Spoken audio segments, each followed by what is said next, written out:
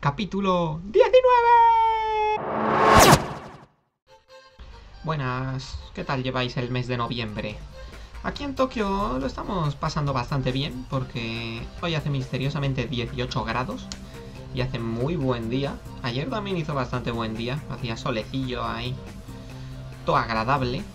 Aunque yo tampoco lo noté mucho porque me pasé mil horas con Juli en un McDonald's jugando al Metal Gear como junkies, rodeados de otros niños jugando también a consolas diversas, Nintendo DS, PSP y demás. Fue un momento bastante feriki japonés. Pues estamos a 7 de noviembre, os hablo a las 5 menos 20 de la tarde del domingo Hoy no tengo pensado hacer nada porque mañana tengo el examen, el chucantesto de sexto. La verdad es que casi siempre que os estoy hablando en el videoblog, casi siempre estoy diciendo que voy a estudiar o que he estado estudiando.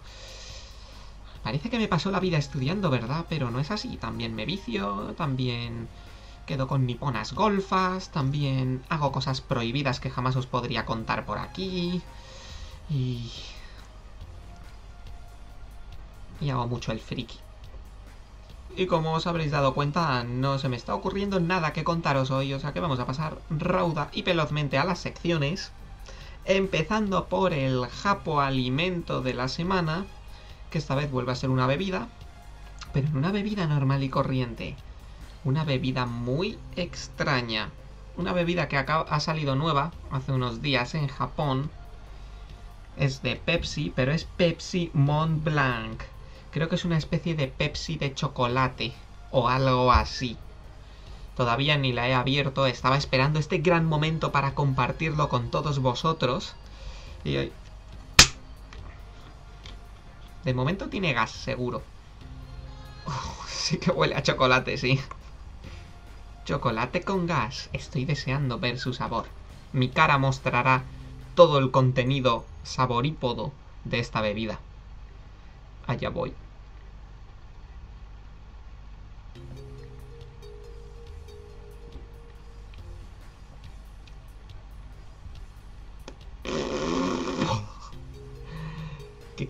Esto? Espera, necesito un segundo intento para poder explicaros el sabor.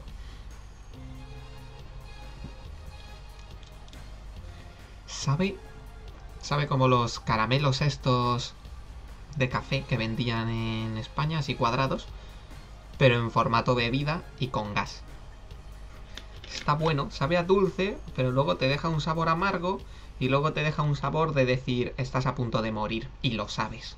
Hoy la fricada de la semana es poco friki y es bastante interesante, sobre todo para los que queréis algún día venir a estudiar o buscaros un trabajo o un futuro aquí en Japón, porque como ya comenté por el blog, he estado estos días mirando la posibilidad de apuntarme a una Senmongakko, que es una escuela profesional para aprender un oficio y de ahí poder encontrar un trabajo. Bueno, estas son revistas con listas infinitas de Senmongakos de todo tipo, chorradas, de deportes, bueno, de deportes no, de, de fisioterapeuta y demás.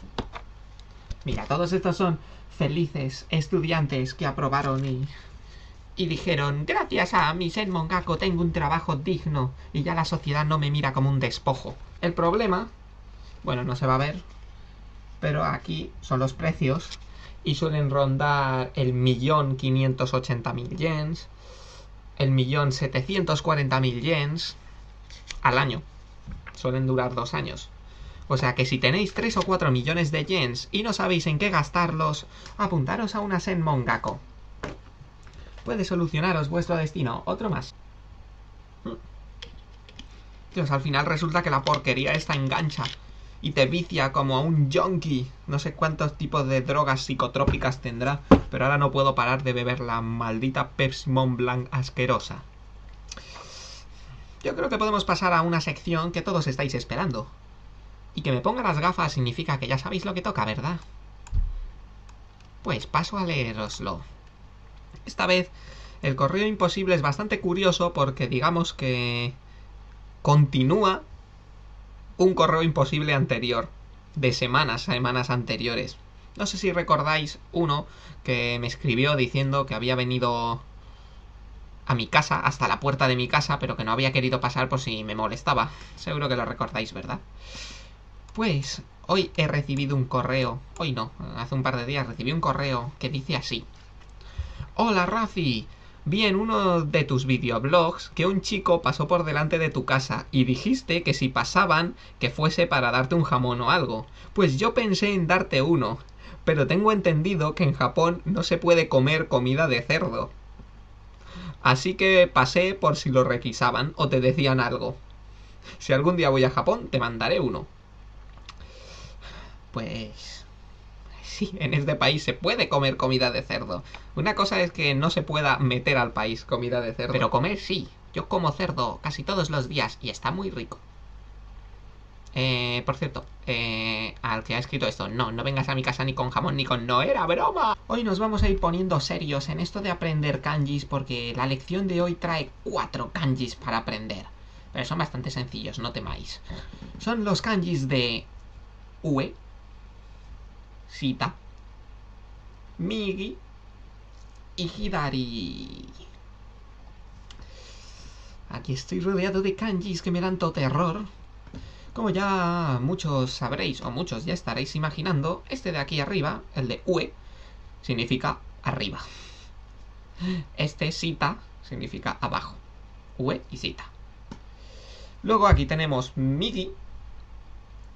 Mi, Migi es derecha, pero es mi derecha. O sea, vosotros lo estáis viendo en el lado izquierdo de la pantalla, pero es derecha, es mi derecha. Esta es mi derecha, ¿verdad? Esto es Migi y esto es Hidari, que es izquierda. Como veis, son bastante fáciles. Arriba y abajo es un palo mirando hacia arriba y abajo un palo mirando hacia abajo. Y Migi Hidari, izquierda y derecha, yo aprendí a diferenciarlos fácilmente porque el de izquierda tiene una I de izquierda, ¿verdad? Hidari. Y Migi es un cuadrado, una boca. Kanjis que os pueden venir bien en la vida y también saber cómo decirlo. Uesita, Migi, Hidari para cuando digáis, ah, tengo que ir a la Migi, o tengo que ir a la Hidari, o tengo que uear o sitaear. Y ahora toca el minuto de fama.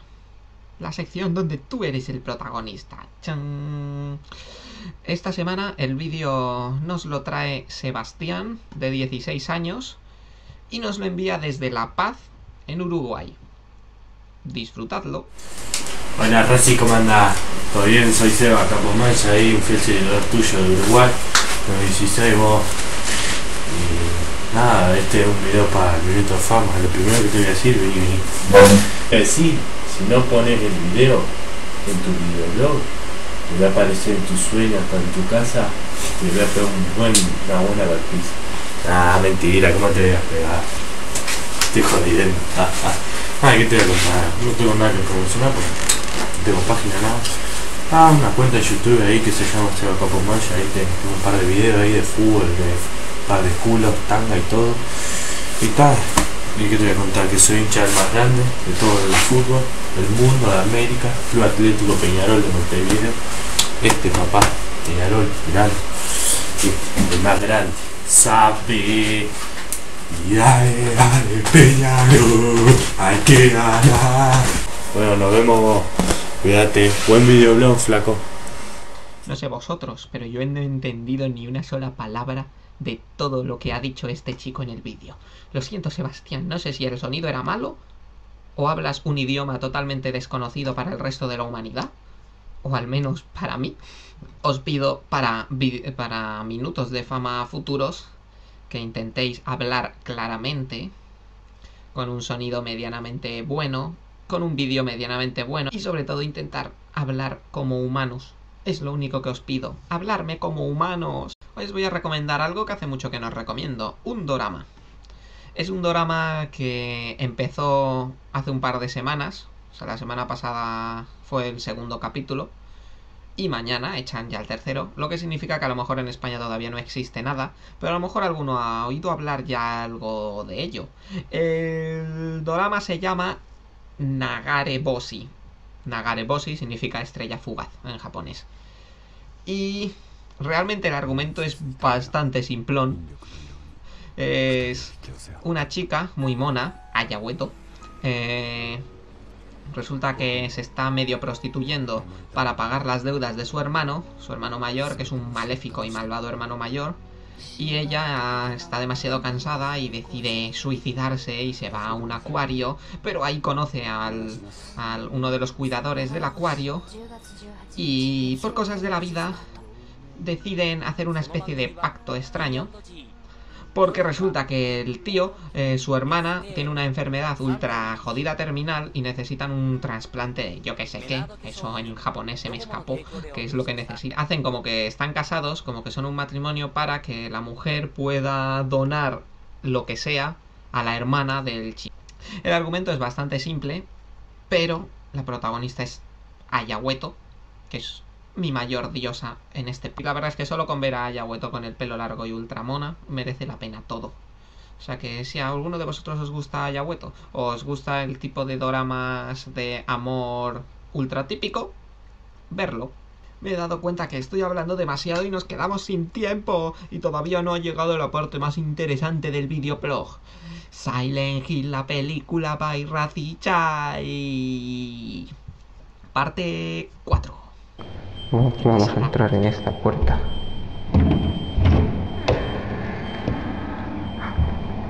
Esto parece una clase abandonada.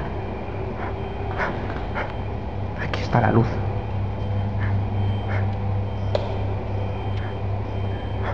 ¡Ah! ¿Qué es eso? No, tengo que irme. ¡No! La puerta está cerrada. Ábrete. Ya no está. ¿Qué ha sido esto? ¿Qué ha sido todo esto?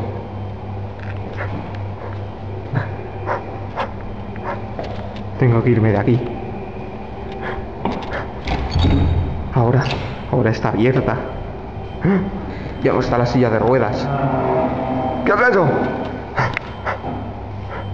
Algo se mueve por aquí. No, no. ¡Me voy de aquí! ¡No! Otra habitación más.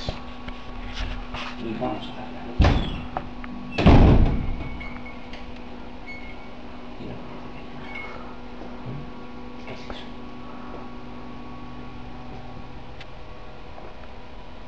Un cuchillo. Me puede servir para la habitación que estaba cerrada. Que las putas. Un martillo. Puede servir como arma. Me lo guardaré. Bueno, ya me he acostumbrado a verme hacer el ridículo en la peli, o sea que ya no me asustó tanto como las primeras semanas, cuando siempre salía diciendo ¡qué vergüenza! ya que más da. Ya, mi vida está acabada para siempre.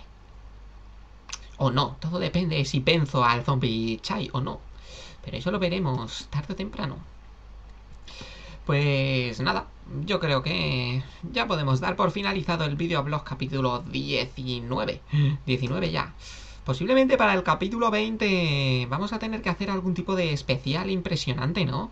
Porque no todos los días se llega a 20 capítulos. O sea que ya pensaré. Además, habré terminado los exámenes al fin, ya que mañana tengo el último, de momento. O sea que... ¡Mosquito!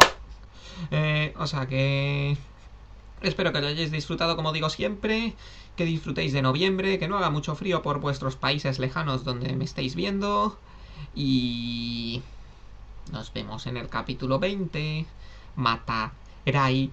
Son matrimonio. ¡No! Esta semana... Uy, qué voz más rarilla me ha salido. Ir dando por finalizado este capítulo 19, ¿no? Yo creo que para el 20 podemos...